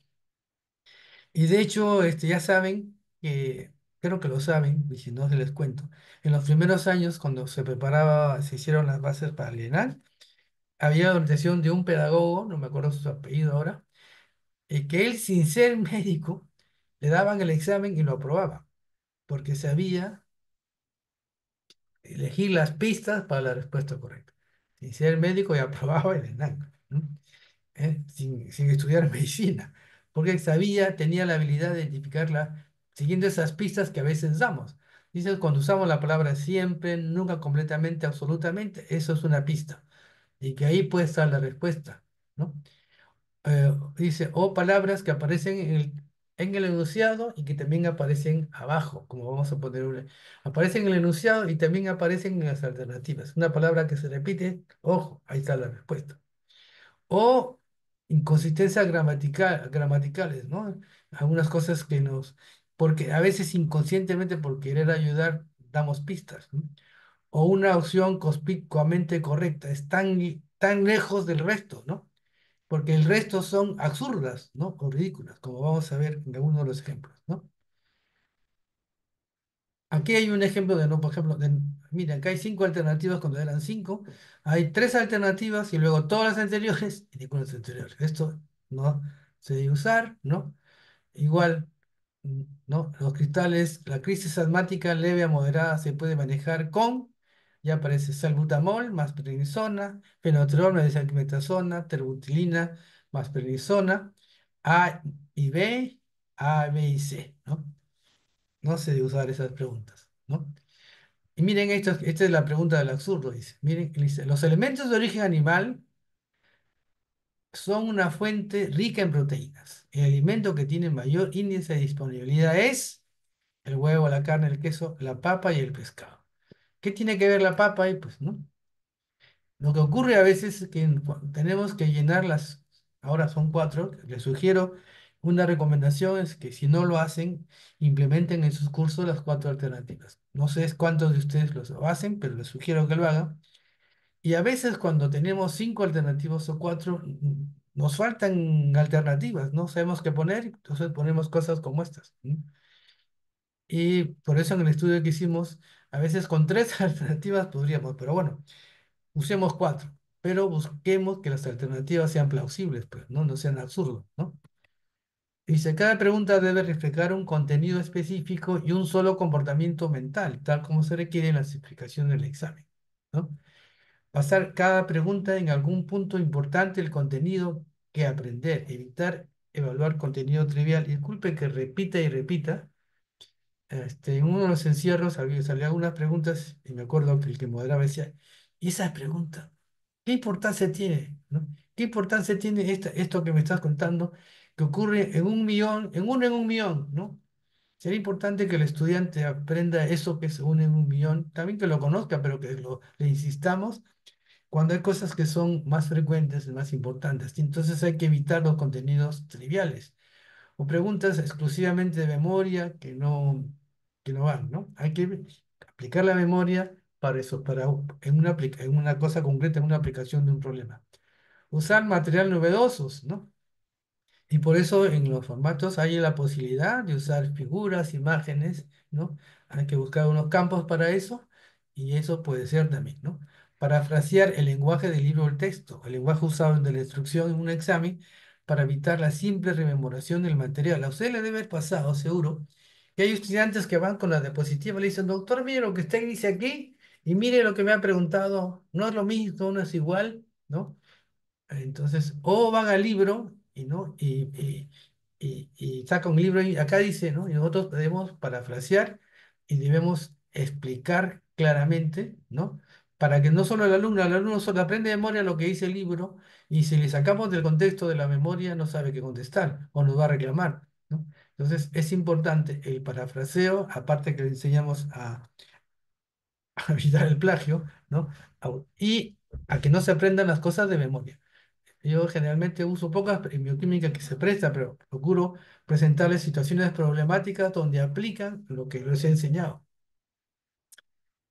Bueno, no, bueno, no se trata de hablar de mi tema, ¿no? Pero cada uno de ustedes sabe eh, cómo, cómo hacer esa, cómo, cómo debe hacer esas preguntas donde aplique lo que ustedes han explicado. El contenido de cada pregunta debe ser independiente del contenido de las otras preguntas. O sea, bueno, no, no acostumbramos a decirle al alumno, le ponemos un caso y de ahí sacamos cinco preguntas, ¿no? En el caso de, de- de que usamos en ASPEFAN, las preguntas por sí solas son independientes. Igual deberíamos, deberíamos procurar hacerlo en- con nuestros alumnos, aunque no niego que en algunos casos podamos hacer, pero eso ya es materia nuestra. Pero en el caso de ASPEFAN, la pregunta es, cada pregunta tiene, es, es independiente de las otras, ¿no? Mantener el vocabulario sencillo apropiado para cada grupo de estudiantes. sencillo pero y apropiado. Quiere decir que si tengamos que usar vocabulario eh, clínico, pues dependiendo del nivel de los alumnos, podamos usarlo. Hay que evitar usar abreviaturas, perdón, que no sean genéricas, que no sean universales. Eh, a veces hay una, una jerga en las expresiones y no todo el mundo tiene por qué saber las abreviaturas, ¿no? En la medida, salvo que usemos pues, abreviaturas tan, tan conocidas, ¿no? Pero hay, hay- hay que evitar, entonces, hay que mantener vocabulario sencillo para cada grupo, evitar un contenido demasiado específico o demasiado general bueno, yo creo que específico sí, pero no, no tan, tan puntual, tan puntual que solo sirve para unos casos tan, tan, tan, tan pequeña que no, que como que ya perdió importancia. Evitar preguntas basadas en opiniones. Aquí usamos los textos, por eso eh, ustedes van a ver en el formato, seguro que ya lo saben, los que han hecho preguntas para el ENAM es que la- cada pregunta termina eh, con una referencia que procuramos que sea lo más actual posible en textos universitarios que son los que manejamos y pudiera ser, este, pero no en opiniones, a mí me parece y no sé qué, ¿no? Evitar preguntas capciosas. No queremos preguntar para hacer caer a los alumnos, ¿no? Un docente debe aspirar a que sus alumnos contesten al mayor número de preguntas haciendo unas preguntas claras, ¿no? no poniéndoles zancadillas con, con, con términos que los puedan hacer confundir. No estamos evaluando su confusión, estamos evaluando su conocimiento. Evitar nombres propios en la medida de lo posible, ¿no? Bueno, hay algunos signos que tienen nombres propios, ¿no? Eh, pero hay otros pudiera ser que no los tengan y entonces, y que de repente esos nombres propios son conocidos por un grupo muy limitado y no todo el mundo lo conoce entonces eh, podrían estar en desventaja, ¿no? Y aquí está, dice la máxima, la pregunta debe estar sustentada en una referencia bibliográfica. Aquí, eh, bueno, en, lo- en las referencias que tenemos de cursos anteriores, se señala máximo ocho años de antigüedad, ¿no? Que sabemos este, eh, que la medicina, mucho, esto seguramente lo revaluaremos porque la medicina avanza tanto que un libro nace atrasado tres o cuatro años, ¿no? Y si le agregamos la antigüedad de cuatro años más, ya son ocho años, ¿no? Entonces, esta es una referencia, dice, ¿cuál trastorno origina elevación de segmento CT en el electrocardiograma? Y ahí aparecen varios, y aquí está este, la referencia de 2020, de hace cuatro años, de Farreras. Por eso también tenemos que preocuparnos que en nuestras bibliotecas, donde acceden nuestros estudiantes, bueno, ahora se usa mucho la, los libros este, digitales, ¿no? Para la información, que procuren usar información lo más actualizada posible, porque la medicina ya sabemos que se va renovando cada instante, ¿no? Y se arregla para el formato opción múltiple de ASPEFAN, han asumido el formato basado en una pregunta, que es lo más frecuente, en una afirmación o en una frase incompleta con puntos suspensivos. Lo que más se usa es la pregunta, pero no es, eh, no es estrictamente necesario. Miren, por ejemplo, una oración incompleta. En un lactante que luego de presentar fiebre le parece, le aparece, es, apare- le aparece lesiones maculopapulares centrífugas que le, que le duraron dos días, el diagnóstico más probable es, ¿no? Ahí está. Ahí están los, ¿no? es una evaluación incompleta, es aquí podrían ponerse puntos suspensivos, ¿no? Ya está. Enunciado es un interrogante. Esa es una pregunta muy sencilla. Dice, enunciado dice, ¿cuál es el primer hallazgo que se presenta en la obstrucción intestinal media? ¿No? Ahí está. Distinción abdominal. Ahora estamos buscando que los casos sean con mayor información. Pero esa es una pregunta muy concreta, ¿no? Aquí no es realmente un caso clínico, ¿no? Esto lo podríamos convertir en un caso clínico si quisiéramos, ¿no? Pero puede ser una pregunta. Generalmente hay un, un texto del caso y acaba una pregunta, que es la que eh, debe ser respuesta con las, eh, contestada con las alternativas. Muy bien, entonces ya está. La ASPEFAN considera cuatro opciones o alternativas. La escritura en enunciado y opciones es tipo oración. Cada opción es precedida por una letra mayúscula que determina la respuesta a esto A, B, C y D. Estas son reglas del estilo. El estilo de Azulfán. Este, eh, no sé si queremos detenernos unos cinco minutos para, para un intermedio. César, María, ¿qué dicen? ¿O seguimos? Sí, me parece bien, doctor. Retornaríamos, son 21 y 14, 21 y 20 horas. Listo, dejamos unos cinco minutos para que se relaje. Gracias.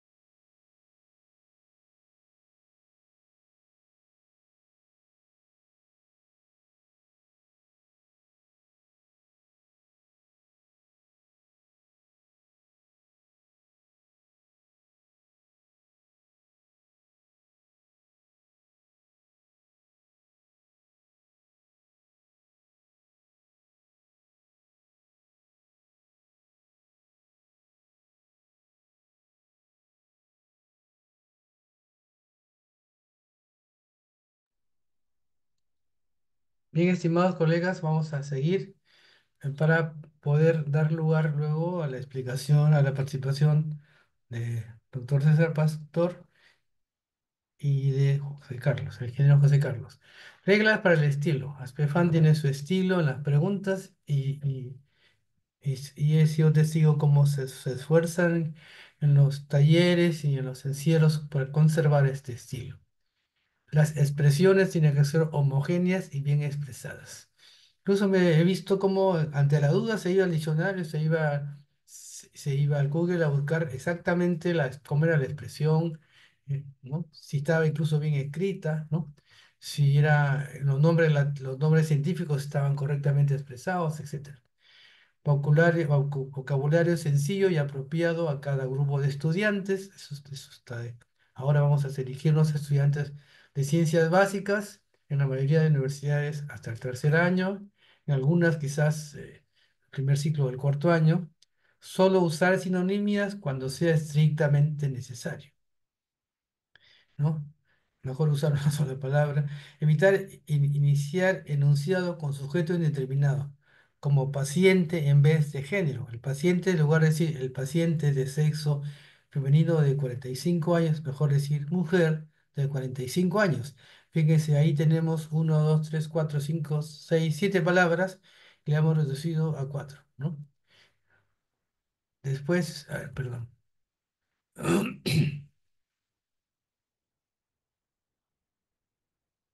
Evitar uso de lo que comentábamos, uso de siglas no universales o locales, consensuando cuáles siglas universales se van a usar.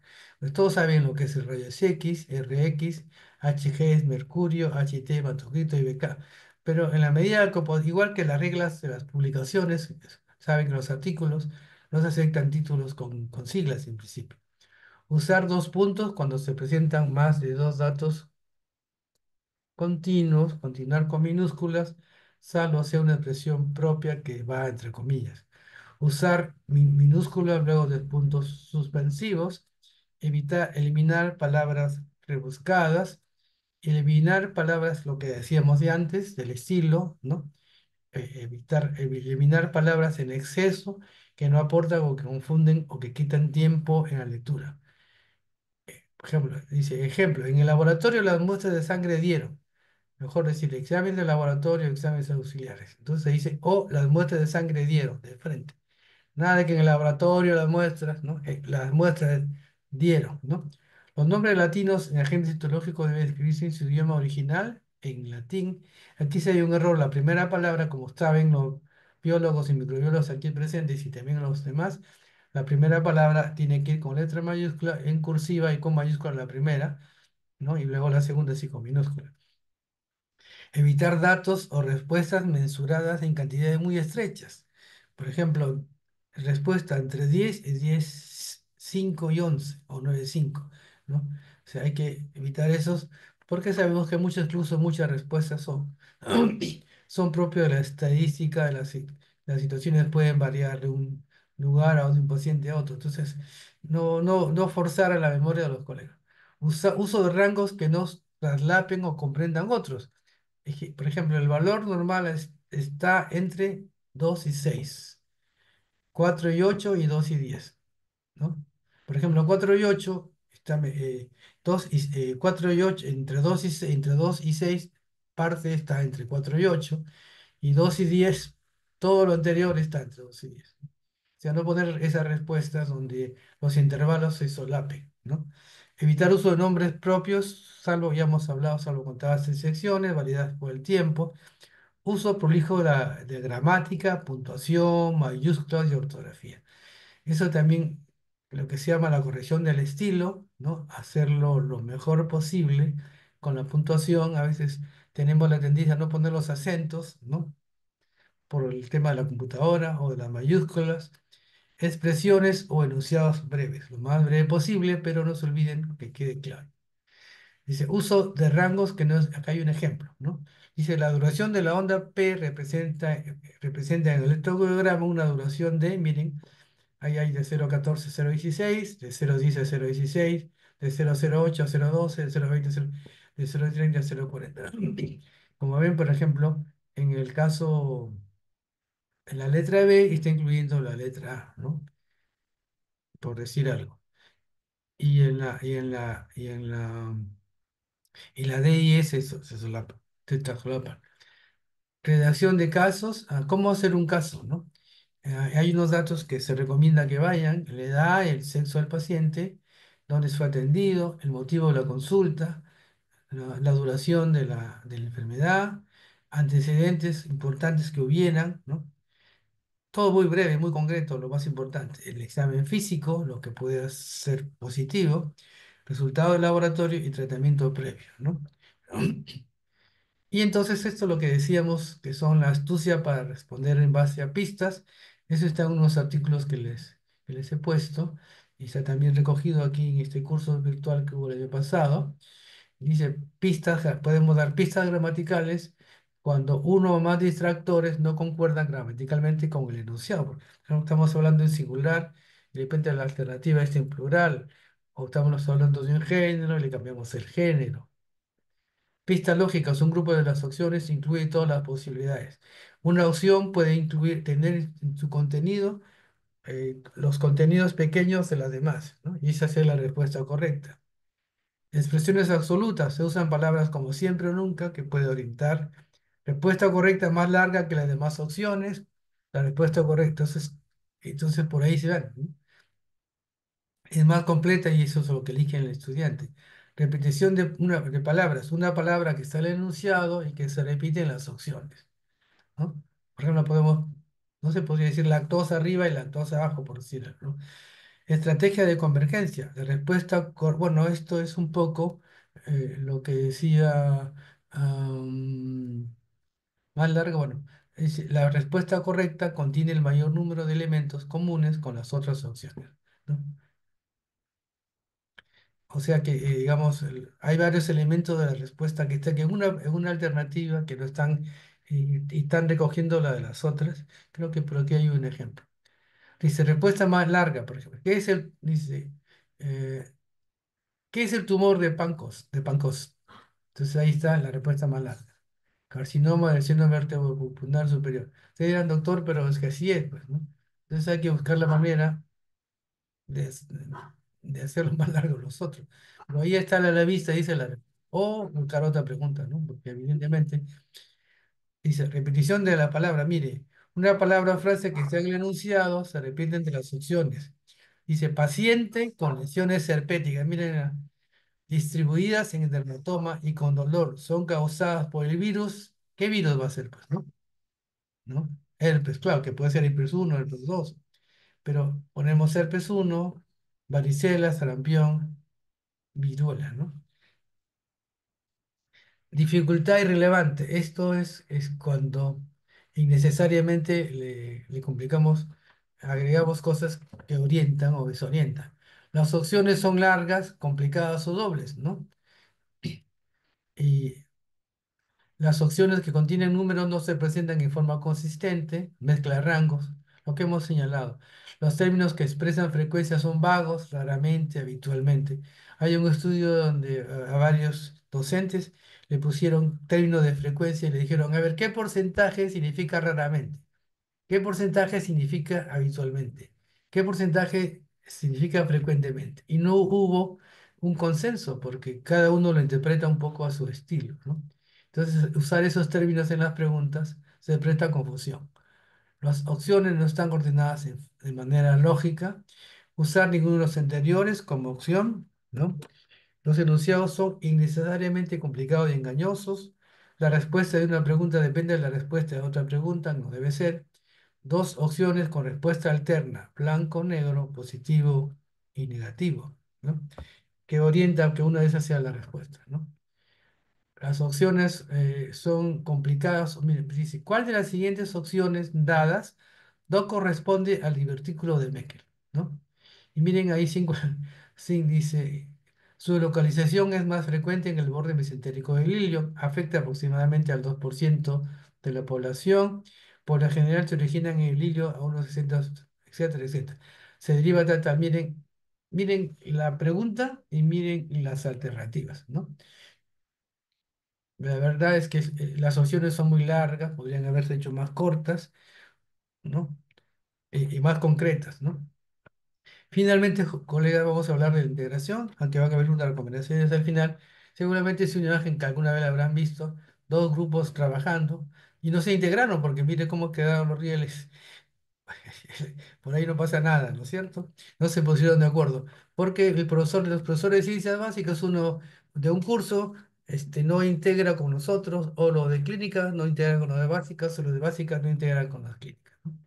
¿Qué es la integración? Es lo, de acuerdo a Rogers, mire, operación mediante la cual se hacen interdependientes elementos originalmente disociados con el objeto de hacerlos funcionar de una manera articulada y en función de una meta establecida. ¿Cuál es la meta? Que el colega, que el- los alumnos aprendan medicina integrando los conceptos, ¿no? Hacen también, te que hice ensalada también. ¿Así? Yo con el jugo. Bueno, ¿qué me ahí?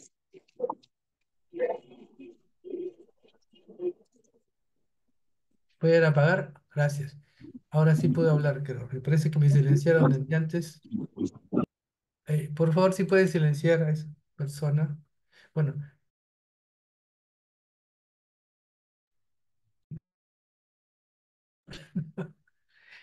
y silencien a nosotros. Aquí tenemos, miren, eh, colegas, las enseñamos en ciencias básicas, salud pública, campos clínicos y ética. Esos cuatro campos hay que procurar integrarlos, ¿no?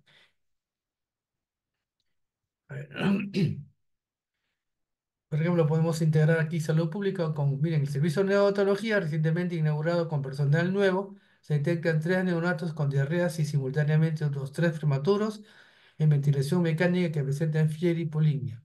Estos hechos otorgan relevancia al, y miren, el clavado de manos, salud pública, un tema de salud pública, un tema de, bio, de, de- de cuidado de la higiene, cómo afecta, tenemos, se aplica este concepto de salud pública a un problema infeccioso que hay en, en, neonatología con diarreas, ¿no? Entonces, este, ahí estamos haciendo integración de la salud pública con las patologías en recién nacidos. Aquí hay un caso clínico, dice, mm, Liberación de preguntas objetivas a partir de caso clínico. Dice, mujer de 32 años ha tenido tres parejas sexuales, probablemente múltiples, nunca usó protección local, usa anticonceptivo oral, consulta por vulvaginitis a repetición, caracterizada por secreción transvaginal, al examen huellas de rascado a nivel de labios mayores, afrotitis y mucosa cervical, se observan células de núcleo grandes, rodadas por, rodeadas por un halo claro, con reforzamiento del citoplasma en la periferia del halo. Los hallazgos del frotis refuerzan el diagnóstico de, bueno, pues ahí tenemos una integración también, ¿no? De varias ginecología, este, también histología, patología. Aquí está, miren, la integración. Ciencias básicas, frotis de mucosa cervical, se observan células de núcleo grande, un- con halo eh, claro. Salud pública está el tema de la promiscuidad de las parejas sexuales. Ética no aparece aquí y campo clínico, vulvaginitis a repetición caracterizada por secreción, etc. ¿no? Mire cómo en esa pregunta se han integrado todos estos temas, ¿no? Bueno, y aquí simplemente para, ya para terminar, porque eh, necesitamos dar paso a, a César y a, José Carlos. Esto que está aquí colocado, pautas para guiar el contenido de los ítems de ciencias básicas, está en este libro de Case, en este, es un libro realmente, que ustedes lo tienen en posición, donde ponen pautas para guiar el contenido de los ítems de ciencias básicas. Ahí les recomiendo que los lean. Incluso aparece un ejemplo cómo una pregunta simple se puede convertir en un caso clínico, ¿no? Dice, evalúe la aplicación de conocimientos usando viñetas clínicas y viñetas con experimentos de laboratorio. Hay incluso algunas plantillas como hacer preguntas, ¿no? Y hay varias plantillas adicionales, por decir, uno dice un, describe a un paciente, presenta qué tipo de evaluación, cuál de las siguientes estructuras es más probable que esté comprometida, ¿no? Y así hay varias. Incluso en microbiología, pone un ejemplo, la plantilla dice, enunciado del ítem, Un paciente con problema, es más probable una infección con cuál de los siguientes organismos, ¿no? Y aparece la lista. Aquí dice en un banquete el menú incluía pollo frito, que bien, ¿no? Papas fritas, guisantes, chocolates, etcétera, etcétera. A las dos horas, varios los asistentes presentaron una vómitos y dolor abdominal. ¿Cuál de los siguientes organismos se encuentra, se encontrará con mayor probabilidad de aparecer en la lista? Miren, estamos integrando la clínica con la microbiología que se presta mucho, también la anatomía. Dice un hombre de 65 años tiene dificultad para levantarse de una posición sentada y enderezar su tronco, pero no tiene dificultad para, eh, para eh, flexionar sus muslos. ¿Cuál de los siguientes músculos podría estar dañado con mayor probabilidad? Y ahí aparece, ¿no? Y aquí ot- otro ejemplo más, también de neurociencia, igual. Muy bien, entonces es importante, colegas, elaborar las preguntas de opción múltiple, cuidando todas las reglas, enunciado, narrativas, contenidos y estilo que se recomiendan. Es importante evitar los errores técnicos al elaborar las preguntas. Bien, de esta manera, este, considerando que además ustedes tienen la chance de ampliar con las lecturas, este, voy a dar pase a- al doctor César Pastor y a José Carlos. César, tú, tú sigues. Disculpa si me he extendido demasiado. Doctor, muchas gracias, más bien, más agradecido a usted por su brillante exposición, muy ilustrativa, este, bastante profunda en los temas fundamentales para elaborar este tipo de preguntas. Eh, estimados doctores, eh, lo siguiente, ¿no? Este, en la primera sesión de trabajo independiente compartimos el sílabo y también compartimos un formato estandarizado para elaboración de ítems y contiene espacio para 20 este, ítems, enunciado, pregunta y otros componentes. Ese es un material que va a ser usado, por ustedes de referencia, o sea, es para uso personal, para que vayan construyendo sus preguntas de manera razonada, de manera reflexiva, y ahí en ese Word van planteando sus preguntas, ¿de acuerdo? Las 20 preguntas que se va a solicitar. Sin embargo, debemos tener en cuenta lo siguiente. Artefam ya cuenta con un sistema eh, digital virtual para el registro de preguntas, que es mucho más simple que el archivo Word que les hemos compartido. ¿ya? Entonces, eh, ¿por qué? Porque el trabajo realmente está virtualizado y reitero las preguntas que vamos a calificar, que vamos a trabajar con, este, Jorge y los demás miembros del equipo técnico, se van a trabajar en el sistema que mi compañero José Carlos en breve les va a mostrar. Eh, algo importante, doctor Juan, es este, lo siguiente. Ya a partir de mañana vamos a organizar los grupos de trabajo, porque por cada área vamos a crear un grupo WhatsApp. Eh, van a tener su propio coordinador para que allí hagan la, la discusión, las correcciones y también ellos puedan hacer sus eh, reuniones virtuales Zoom eh, para que puedan hacer consolidación de preguntas o interactuar entre ellos. ¿no? Pero eso es parte de, de la sesión de mañana que vamos a, a trabajar. Eso quería comentarle, doctor este, Saavedra, y doy pase a mi compañero José Carlos para que explique el sistema virtual de eh, gestión de preguntas, que es, reitero, donde usted va a colocar las preguntas que van a elaborar. Muchas gracias. Muchas gracias. José Carlos ahora.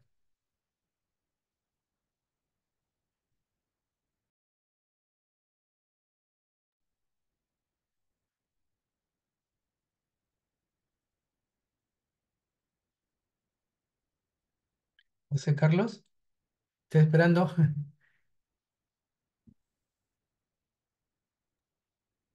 Ok, eh, sí, no sé si me escuchan. Perfectamente bien, José Carlos. Ok, eh, buenas, buenas noches eh, con todos los doctores presentes. Eh, mi nombre es José Carlos Quispetapia, soy ingeniero de sistemas, eh, apoyo como analista informático a Aspefan. En esta ocasión les voy a mostrar el uso del sistema de gestión de preguntas para llevar a cabo el examen nacional de ciencias básicas. Eh, para ello he generado un video el cual se los voy a compartir también por el chat del Zoom y por el grupo WhatsApp, para que ustedes lo puedan ver eh, en N oportunidades.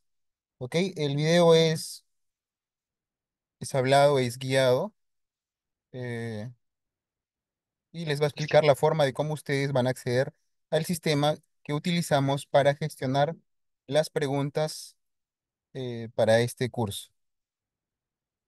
Para acceder al sistema, se accede a través de la URL que les voy a compartir por el chat.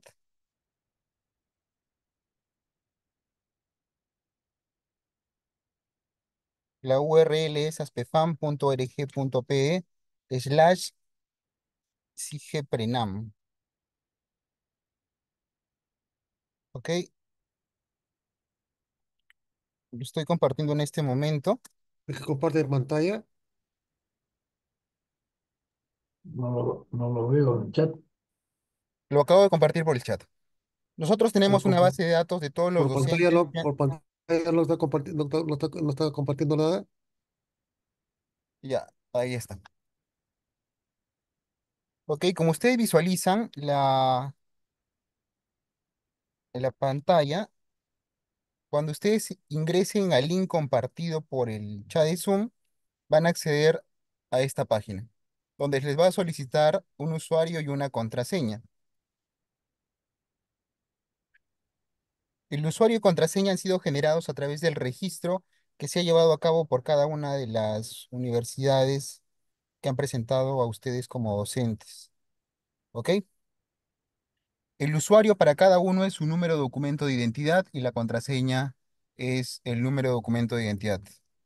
¿Ok? Entonces yo como usuario voy a colocar mi DNI y como contraseña mi DNI. Cuando accedan por primera vez les va a solicitar el registro de sus datos personales. Lo registran, es un formulario básico de registro y luego van a poder ingresar sus preguntas. Ahora, ¿cómo se realiza el registro de preguntas? Voy a compartir una vez más mi pantalla.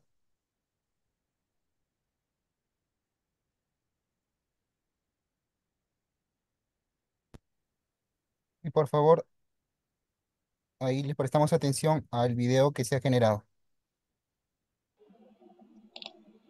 Estimados docentes, a continuación eh, haremos un recuerdo de cómo se realiza el registro de preguntas en la plataforma proporcionada. Y para acceder a la plataforma deben acceder a la URL aspefam.org.pe slash sigeprenam.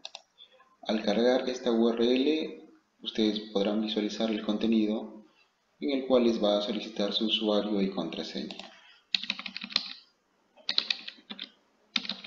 Ingresan su usuario y contraseña y luego clic en el botón Iniciar sesión. Cargará la pantalla principal y en esta pantalla deben de ubicarse en el lado izquierdo que dice Menú Principal. Y poco más abajo darle clic en Registro de preguntas para que se despliegue un menú que lleva por nombre Preguntas, al cual deben darle clic. Al darle clic va a cargar un contenido, el cual va a contener las preguntas que ustedes han registrado previamente. Si es la primera vez que ingresan, ustedes no van a visualizar ninguna pregunta, entonces debería quedar de esta forma, vacío. ¿Ok? Si desean registrar una pregunta, deben de darle clic en el botón de color azul ubicado en la parte superior izquierda que lleva por nombre registrar nuevo. Le dan clic y les va a cargar este formulario donde ustedes ingresarán el detalle de la pregunta. Primero, eh, la subaria. En este caso yo voy a generar una pregunta dentro de la subaria de neurocirugía. El tema de traumatismo, el grado de dificultad medio, Uh, voy a hacer una pregunta de caso clínico y de nivel de referencia. Un poco más abajo debo de ingresar mi pregunta. Y más abajo las alternativas. Recordemos que siempre la primera alternativa va a ser la respuesta.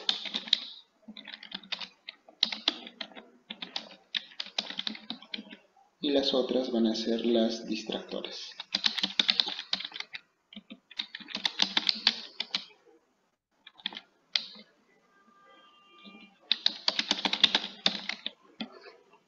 Un poco más abajo debemos de colocar la fundamentación a la respuesta elaborada, a la pregunta elaborada.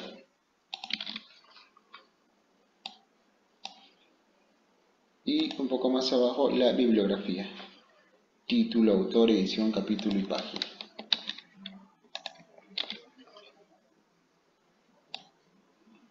Okay. Para luego darle clic en el botón guardar.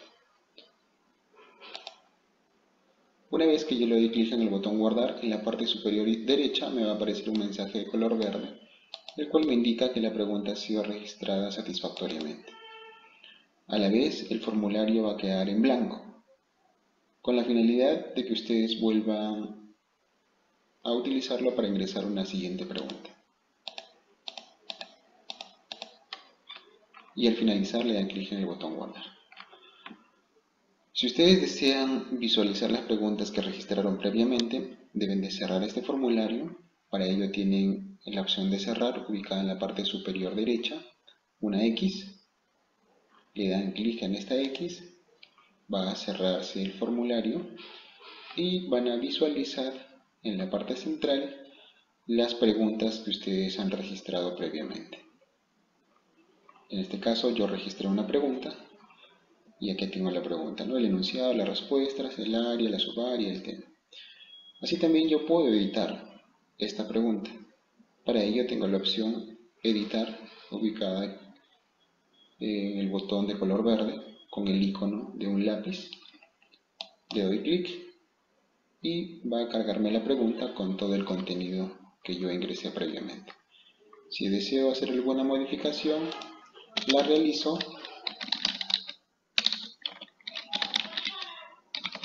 y la guardo, dándole clic en la parte inferior, en el botón azul, guardar me va a aparecer el mensaje de color verde ubicado en la parte superior derecha, el cual indica que he sido, ha sido actualizada la pregunta de forma satisfactoria.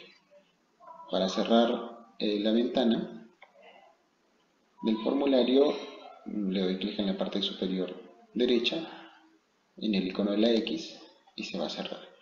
Y ustedes van a visualizar que la pregunta ya ha sido actualizada con el texto que ingresaron. ¿Ok? Ese es el procedimiento para el registro de preguntas.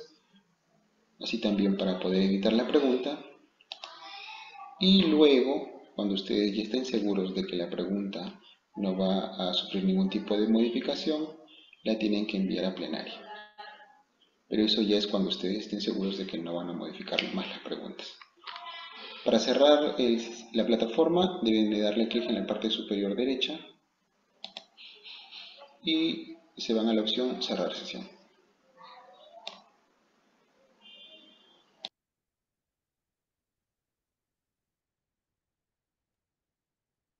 Ok, eh, se ha tratado de generar un video eh, explicando cómo es el proceso de registro de preguntas, así también cómo esta pregunta, una vez finalizada, tiene que ser enviada a plenaria. En este caso es para que la pregunta pase un proceso de revisión. Eh, por el chat también se ha compartido el link de este video para que ustedes lo puedan ver N veces eh, y puedan guiarse paso a paso de cómo se realiza el registro de cada una de las preguntas. ¿Ok? Em, ahora también, como les mencionaba en un inicio, nosotros contamos con la relación de todos los docentes que han sido presentados para este curso. Hemos generado los usuarios y contraseñas en el sistema el usuario es su número de documento de identidad y su contraseña es su mismo número de documento de identidad.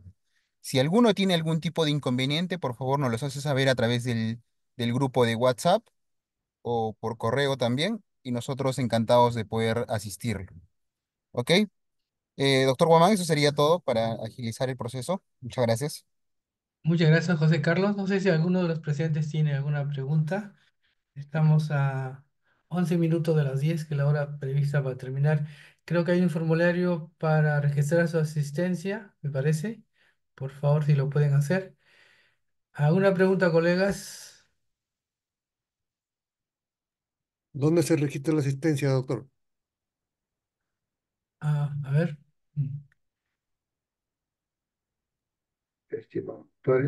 Entonces, ¿Puedes explicar, César, lo de la asistencia? en el chat del Zoom hemos publicado un mensaje que dice registro de asistencia. Hay un enlace, un hipervínculo que deben pulsar y lo va a llevar a una ventana donde aparece el sistema de asistencia. Ponen su DNI y, listo. Doctor, buenas noches. Le saluda Viviana. Solo quiero hacer una consulta referente a todo lo que usted ha explicado, si van a subir también al curso donde están todas las, las informaciones que venimos este, leyendo, las lecturas de forma sincrónica. si la doctora. presentación de usted va a estar presente. Sí, doctora, vamos a subir la presentación del doctor Guamán, el video de la grabación de la sesión de hoy día, el video que ha generado nuestro compañero José Carlos, y como bien dice, atentos a cualquier consulta para poder apoyarlo. Mañana estamos subiendo todo el material, doctor. Cuida cuidado. Ok, muchísimas gracias. Muchas gracias, Viviana, por tu participación. ¿De dónde, Viviana? ¿De qué universidad? U- Universidad Nacional de la Amazonía Peruana. Ah, bienvenida. Gracias. ¿Alguna cosa más, eh, César, que decir? Si no, ¿alguna pregunta más? A- agradecido más bien con usted y con todos los participantes. Ha sido una sesión interesante, bien provechosa. Y como siempre, ya mañana en la sala, en el audio virtual, vamos dando mayor indicación. Ok. Entonces, de no ser así, de ser así, eh, les agradecemos a todos y nos despedimos, bueno, vía virtual mañana, ¿no? A través de No puedo, doctor no puedo, no puedo marcar asistencia. Eh, ¿está pulsando sobre el enlace, doctor? Dice que registro de asistencia. Y, Y abajo hay un el enlace, pero ya me sale otra cosa. Claro, ahí, Ya, ahí ahorita, ahorita sí, ahorita sí. Ahora sí, listo. Sí, yo también ya lo he hecho y todo salió bien, o sea que no, debe ser sencillo. Ok. Entonces, si no hay más comentarios, Así es, doctor. Gracias, doctor Pastor, por su valiosa participación. Usted es el hombre fuerte aquí en el curso. Nos despedimos entonces. Seguimos avanzando. Gracias a todos por su asistencia. Muy buenas noches con todos. Buenas noches. ¿no? Buenas noches con todos. Buenas noches. Gracias, buenas noches.